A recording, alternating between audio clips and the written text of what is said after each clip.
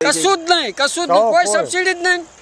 નહીં નહીં. ખાતરમાં નહીં. સબસિડી હશે પણ ના મળે ખાતરમાં નહીં પછી વીજળીમાં નહીં કોઈ નહીં. અમારે તો કોઈ પેલી એ જ નથી. જો હવે આવો તો કહીએ કોઈ એમનો ગરીબ માણસ છે કોઈ લાભ મળતા નહીં આ મોંઘું પાણી લઈએ છીએ સો રૂપિયા કલાક. સો કલાક સો બે કલાક ભરીએ છીએ બરાબર? કોઈ હમણાં બાર બાર અનાજ જેવું તો અમારું પાકતું નહીં. ભાજપ સરકાર દસ વર્ષની અંદર ખેડૂતો માટે શું કર્યું? ખેડૂતો માટે આપઘાત થાય એવું કર્યું છે એમને. અને આપઘાત ઘણા જણા કરે છે અને અમારે એ પરિસ્થિતિ છે. કારણ કે આ જમીન હવે છે ને ભાજપ સરકાર હવે હડપ કરવા માંગે. છે. શા માટે? એ એમના વિકાસ પણ ખરેખર વિકાસ નહીં વિનાશ કરે છે ગુજરાતની પબ્લિકનો. અને ઉદ્યોગપતિ જોડે સેટલમેન્ટ કરે છે મોટા પાયે.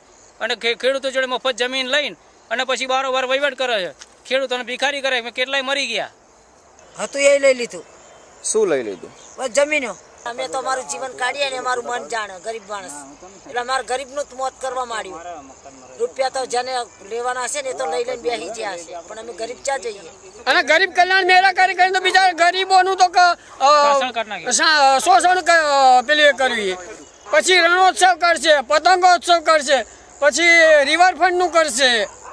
આવા બધા તો યોજી યોજી પબ્લિકોની કરે. પથ્થર ફાડી નાખાઈએ પબ્લિકના પૈસે જલસા કરે. પબ્લિકના પૈસે ઈ જલસા કરાઈએ ये किसान जहां ऑटोमोबाइल की सबसे बड़ी कंपनी आई हुई है वहां के रहने वाले हैं फिर भी इनको इसका कुछ भी फायदा नहीं हुआ है क्या आप अब भी मानते हैं कि औद्योगिकरण से आम आदमी और किसानों का विकास होता है मैं संजय अहमदाबाद के साणंद से इंडिया अनहट के लिए